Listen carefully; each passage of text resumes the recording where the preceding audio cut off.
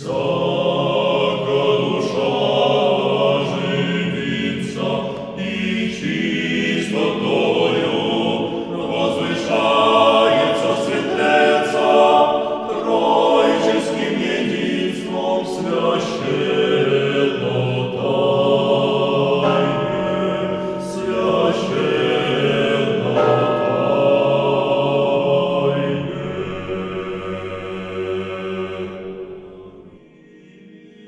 Здравствуйте, дорогие братья и сестры! Я приветствую вас в программе «Мир православия». Христос воскресе! Равнодушие существует испокон веков. И, наверное, яркий пример такого равнодушия есть в притче о милосердном самарянине, когда мимо израненного, избитого человека проходит и священник, и левит, не обращая на него внимания. У каждого были свои причины, свои обстоятельства – и, наверное, эти причины оправдывали их действия, потому что можно сказать, что они спешили на богослужение, прикасаться к человеку израненному или, может быть, мертвому, для них было опасно. Они не могли бы тогда участвовать в богослужении. Но равнодушие всегда можно оправдать. Почему же возникает в людях равнодушие? Как с ним бороться? Об этом мы и постараемся поговорить сегодня в нашей программе.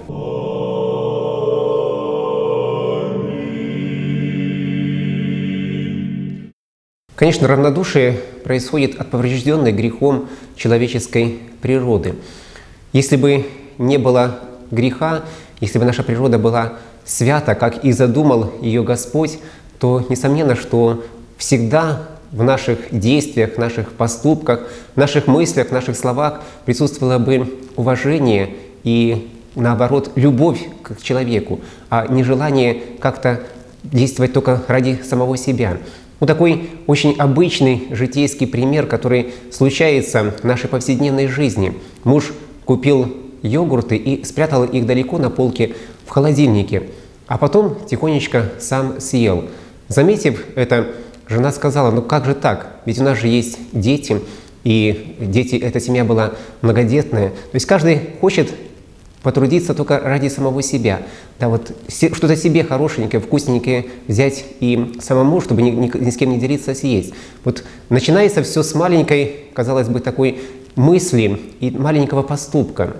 Но когда ты забываешь о другом человеке, за которого ответственен, перед которым ты должен, конечно же, проявлять и поступки достойные, чтобы он мог видеть тебя и учиться этому с самого детства, то, наверное, это очень и очень опасно, потому что один раз позволив себе такое, можно вообще очерстветь душой, в конце концов, в течение всей своей жизни. Поэтому апостол Павел говорил, что старайтесь духом умершлять дела плотские, работайте духу, а не плоти, потому что Дела плоти – это известно, это эгоизм, это себялюбие, это комфорт, это стремление ничего не делать для другого. А дела духовные – это, наоборот, отдача себя. Как сейчас можно услышать некоторых молодых людей «отвалите от меня, отстаньте, не мешайте мне». То есть не мешайтесь в мою жизнь ни своими поучениями, ни своими какими-то э, претензиями. Дайте мне жить так, как я хочу. Но наоборот, ведь для христианина важно, чтобы он старался жить для другого человека, потому что в этом закон любви. Христос пришел для того, чтобы каждого из нас научить истинной любви. Бог стал человеком, чтобы мы увидели эту уничиженность Бога, Его желание и отдать себя за наше спасение. И, конечно же, этого Господь хочет, чтобы было и от каждого человека, кто называет себя христианином. Можно вспомнить такой удивительный пример, когда э, в нашей стране появились телефоны, ну, более распространенно это где-то в 70-е годы, и люди, тогда снимая трубку, они не говорили просто «алло», как мы сейчас говорим, а говорили «чем я могу быть полезен?». А то есть человек еще не знает, кто к нему обращается, что он хочет, какие у него будут вопросы, а проявляет вот такое уважение и заботу о другом человеке. Чем я могу быть полезен? И как не хватает этого сегодня в нашей жизни, когда мы видим даже имя и номер человека, который, который нам звонит, и уже думаем, брать трубку или не брать. Потому что знаем, что, может быть, у этого человека будут какие-то вопросы или проблемы у него есть, а нам совсем не хочется в этом участвовать. И мы уже внутренне решаем для себя вот эту проблему. А для христианина вопроса не возникает, он всегда возьмет трубку. Если надо, он сделает все возможное, все зависящее от него, чтобы помочь этому человеку. Апостол Павел говорит такие замечательные слова. «Кто скупо сеет, тот скупо и пожнет. И кто щедро сеет, тот щедро и пожнет». Это касается нашей самой повседневной жизни, самых наших обычных обстоятельств. Э, и вот то, что мы сейчас так говорим, что «отстаньте от меня», «не лезьте в мою жизнь», «мне ничего не надо», «мне все равно, что там у вас происходит», но ведь никто не застрахован от того, что завтра тебе не понадобится помощь. И ты окажешься в той же ситуации, в которой тебе сейчас обращается нуждающийся человек. И что тогда? Если ты посел вокруг себя равнодушие, если ты посел вокруг себя то, что тебе ничего не надо, так ведь и к тебе также отнесутся. Поэтому, конечно, мы должны даже хотя бы из элементарного такого э, представления, что может быть и с нами что-то случится, мы помочь этому человеку. Потому что, ну, ведь не зря говорится, что и от сумы, и от тюрьмы никто не застрахован. Да? Потому что кто знает, что у нас будет завтра, кто знает, что, какие случатся обстоятельства. И необходимо сеять вокруг себя добро и любовь. Необходимо сеять вокруг себя вот то, что мы будем отзываться на нужду ближнего человека. А все это закладывается с самого детства.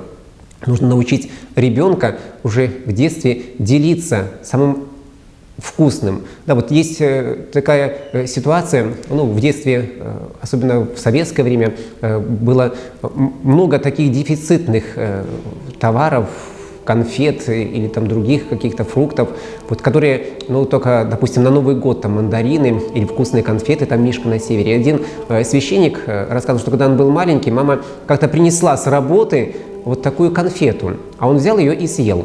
Э, сам съел эту конфету. Вот тогда, говорит, мне э, был такой урок, замечательный урок, который я запомнил на всю свою жизнь, когда мне сказали, а почему ты не подумал, что мама тоже хочет эту конфету, и твой брат тоже хочет эту конфету. И он говорит, что мне хотелось как-то вернуть назад эту конфету, хотя, конечно, сделать этого было невозможно, потому что совесть его настолько обличала, что как же он не подумал о ближнем, о том, что кому-то нужна эта конфета. А во многих многодетных семьях я прекрасно знаю, что дети знают, что нельзя съесть эту конфету самому. И они готовы эту конфету разделить между всеми, пусть, пусть по маленькому кусочку, но каждый попробует. Почему? Потому что они учатся любить друг друга. И вот это закладывается в самом, самом детстве. Э, известный писатель Бернард Шоу говорил, что хуже ненависти есть только равнодушие. То есть иногда лучше даже ненавидеть человека, по крайней мере, ты все равно будешь испытывать к нему какие-то эмоции, какое-то отношение будешь иметь к этому человеку. А равнодушие, оно делает человека совершенно черствым, совершенно бесчувственным. Ну, так же, как мы относимся к некоторым вещам. Ведь мы э, не обращаемся, допустим, к шкафу или к столу, не говорим с ними. С живым существом, даже с животными мы разговариваем. Так вот, равнодушие оно делает человека вот таким черствым по отношению, как будто это не человек, а вещь какая-то, бездушная совершенно, неодушевленная. И это очень страшно, потому что э, вот оно делает черствым человеческую душу. А через, через эта черствость, она приводит к тому, что человек ведь оказывается, он совершенно холодным и перед Богом, потому что нельзя Э, говорить, что я люблю Бога, и при этом иметь вот такие отношения к своему ближнему. Это, это очень страшно. Поэтому прав был этот писатель. И весь духовный опыт святых отцов говорит о том, что Действительно, начинать все нужно с маленького. И когда мы научимся потихоньку проявлять любовь, пусть даже, может быть, она не будет вызвана горячим откликом из нашего сердца. Потому что, конечно, мы э, думаем, что любовь – вот это когда у нас все горит, все светится, мы просто готовы горы перевернуть. Нет, может быть, иногда просто необходимо себя даже подвигнуть, заставить сделать какое-то доброе дело. И тогда придет эта любовь.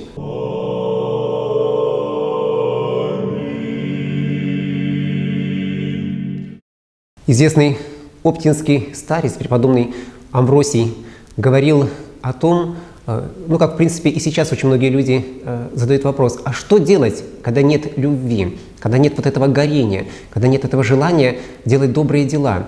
И он давал такой совет, э, который универсален для всех поколений и на все времена. Если даже нет этого горения, этой любви, просто делай дела любви, без самой любви. И тогда любовь постепенно проявится в твоем сердце. Но главное, не оставайся равнодушным, не оставайся холодным к просьбе любого человека, к горю любого человека, к беде любого человека. Начинать необходимо, наверное, с самого обычного, со слов. И апостол Иоанн Богослов говорит, что давайте будем любить не только словом и мыслью, но делом и истиною. Да, дело и истина, конечно, это уже сама жизнь человека, но порой необходимо начать с чего-то более маленького, именно хотя бы со слова. Давайте научимся любить словом. Ведь это тоже очень важно, когда мы можем сказать какое-то слово, которое утешит человека, которое ободрит его, которое даст ему определенное настроение. Ну вот, допустим, мы давно не видели знакомого человека, встречаем его, можно что сказать? Можно сказать просто «привет», а можно сказать «дорогой мой, как же давно я тебя не видел, как же я рад тебя встретить». Вот это настроение, оно передастся тому человеку. Действительно, вот эта радость того, что он нужен, что о нем скучали, что о нем помнят, что действительно эта встреча при, приводит в радость э, этих людей. В Италии э, уже замечено многими людьми, люди и молодые, и среднего возраста, и пожилые люди, э, пары, они говорят друг другу очень часто слова «аморы», «любовь моя». Ведь это удивительно, когда говорится такие слова. Мы привыкли это говорить только когда у нас такие романтические какие-то отношения на, самом, на самых первых порах влюбленности. А почему не говорить эти слова почаще друг другу? Любовь моя, ведь это так, так удивительно и красиво. То есть научиться говорить эти хорошие, приятные, красивые слова друг другу при встрече, при каких-то отношениях э, с другим человеком. И это уже будет делать наше сердце неравнодушным. Это уже будет очень, очень важно. А еще необходимо, конечно, э, заметить в себе э, такую особенность, что мы порой очень обидчивы на некоторые слова. Мы, может, иногда не понимаем, от чего произошла эта обида, вот, но боимся выговорить и крутимся вот внутри себя, своей души в этой обиде. Опять же, приведу такой пример, э, когда человек не дослышал, не услышал, и потом целый месяц находился в ужасном состоянии уныния, подавленности от того, что ему показалось что-то печальные и ужасные в тех словах, которые сказал священник. Одна женщина приехала в паломничество в Оптину пустыню, и там, пробыв какое-то время, конечно, не хотела возвращаться в Москву, э, в эту суету, в эту толчью. И э, священник, который провожал ее к машине, он сказал ей на прощание, долго думал, что сказать, и сказал такие слова «радость моя». И, э, конечно, эти слова очень приятные, очень хорошие. А, вот он приезжает через месяц в Москву, встречается со своей мамой, навещает свою маму. А эта мама хорошо знала эту женщину. И она у него спрашивает, «Батюшка, а что ты такое сказал на прощание этой женщины, что она целый месяц плачет и рыдает, не находит себе места?» Он долго думал, а потом вспомнил, что я же ведь сказал, Александр, Александра, радость моя, а, радость наша – и э, ничего плохого я не сказал.